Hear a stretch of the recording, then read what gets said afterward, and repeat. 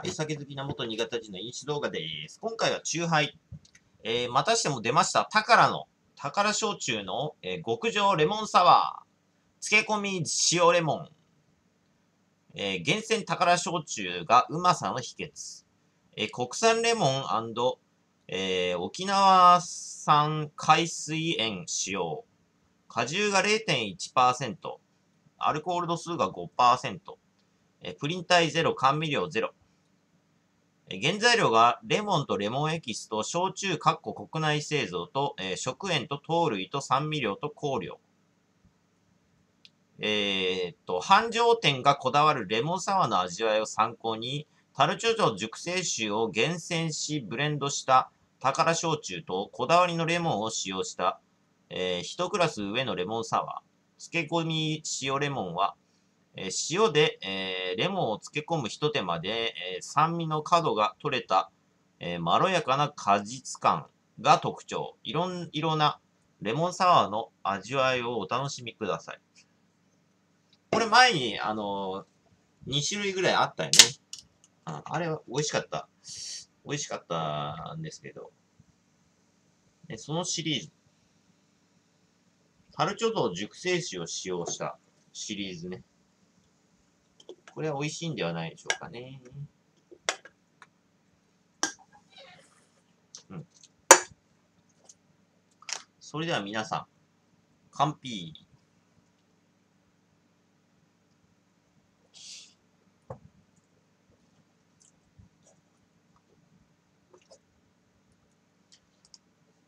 あ、思ったよりあれだな。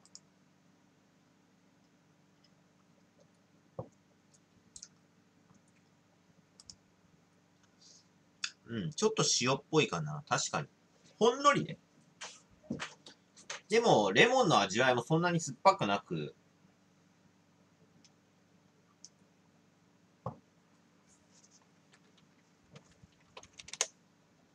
うん。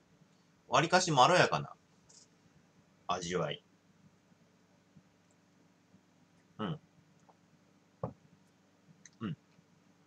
なんかほのかな、あのー、焼酎の甘さがありますね。うん。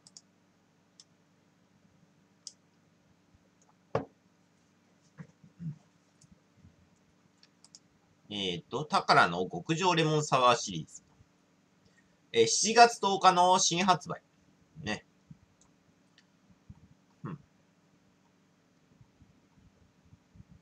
で、俺が確かね、以前飲んだのが、丸おろしレモンってやつが美味しかったんですよ。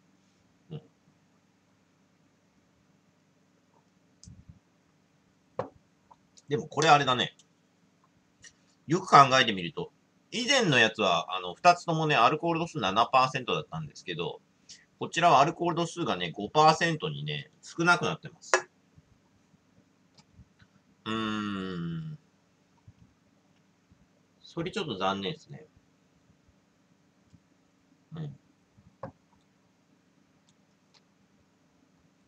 うん。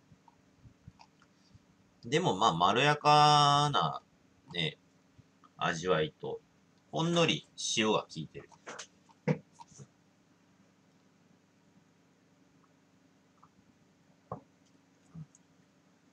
まろやかな果実感。塩でまろやかと書いてあります。芳醇でキレのある味わいのえタルチョゾ熟成酒と、まろやかな塩レモンの風味を引き立てるレモンサワー用焼酎。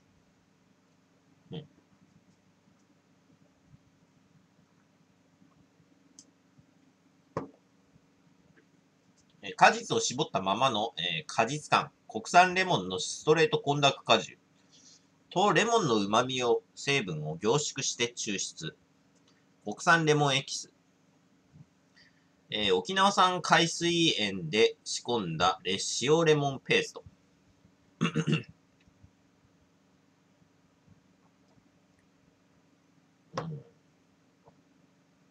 まあ、美味しいですけど、あの、前回、前々回ぐらいのその、丸おろしレモンシリーズ。違う。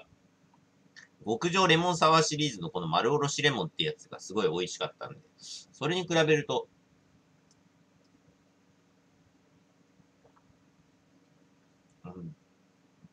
まあ、アルコール度数もす、あのー減っちゃって、ちょっとそれは残念ですね。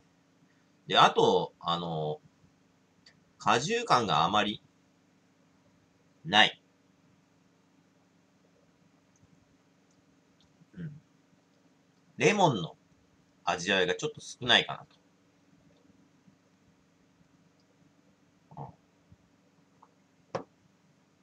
っていう感じですかね。美味しいけどなんかこう、逆にまろやかすぎて、なんか引き立ってない感じはありますね。うんなんかまろやかすぎる。なんかまろやかすぎてこう、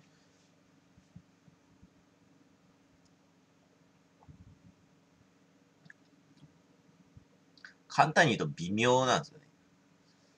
なんか、あの、トゲ、トゲしくないのはいいんだけど、まろやかすぎる。うん。もうちょっと何かしら突出してもいいんじゃないですかね。うん。これだとなんか、うん。普通のレモンサワーにちょっと塩をちょっと入れたような、ね、味わいですね。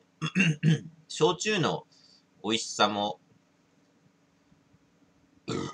まあそこまで、なんか感じられない。というのはあります。うん。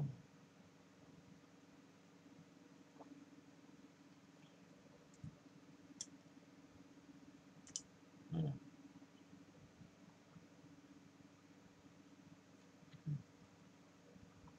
このシリーズにしては珍しく、あの、まろやかな、実に飲みやすい、あの、レモンサワーだな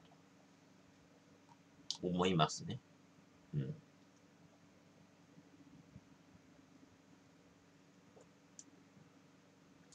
逆にこれの、あの、飲みやすすぎる、ちょっと面白みがない。うん。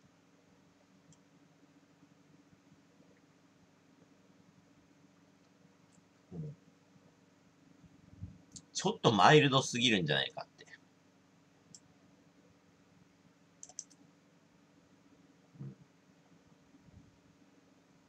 そんな感じですね。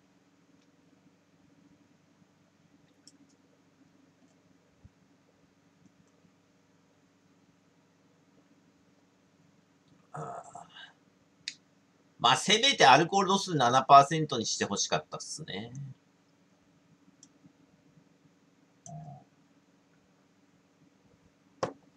せめてさ。せめて。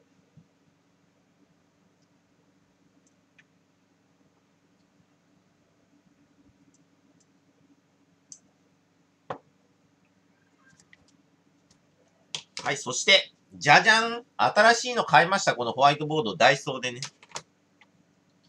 ダイソーで購入しました。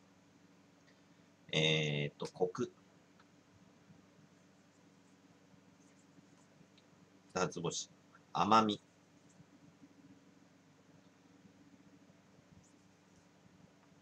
甘みはそんなにないです。香り。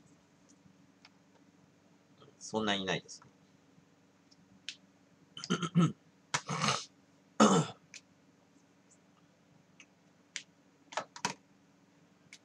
おすすめ度。あ、これはちょっとあまり、そんなでもないですね。うん。えー、2223です。ご視聴ありがとうございました。